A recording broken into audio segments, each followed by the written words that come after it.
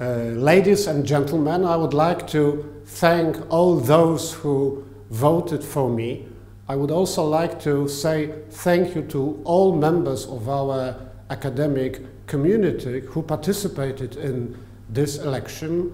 Uh, I think this election went according to our very good standards. I would like to uh, say thank you also to my colleague, Professor uh, Alfred Janc. And now I would like to propose uh, and to address all members of our society to work together uh, for our, uh, to, to, to realize, to achieve our aims and to uh, develop our university, Poznan University of Economics and Business.